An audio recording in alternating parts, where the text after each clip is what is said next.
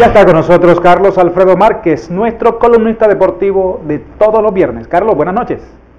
Buenas noches, Ubaldo.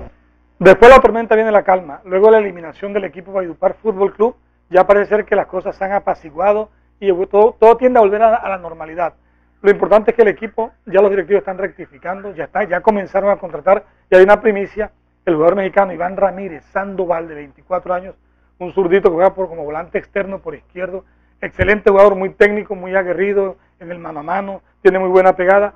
Seguro que va a dar una, buena, una, mano al equipo Vallenato. Ya es jugador del equipo Vallenato, primer extranjero en toda la historia del equipo. Eso es muy importante. La segunda cosa, darle continuidad al técnico Ramón para que siga en su proceso es muy importante también. ¿Por qué? Porque el equipo terminó jugando con una identidad futbolística y cierto que adoleció de gol porque no teníamos. Y es importante que los directivos hayan comenzado desde ahorita temprano, porque en el segundo torneo seguramente que la vida le va a dar la segunda oportunidad para resarcir lo que hicieron en el primer torneo. De manera que nuestro equipo se está armando bien, en un 80% se mantiene la nómina, salieron algunos jugadores y el equipo, tengo la fe, la convicción de que en el segundo semestre va a ser la oportunidad de oro y se va a resarcir todo lo que hizo en el primer semestre. Buenas noches, feliz fin de semana.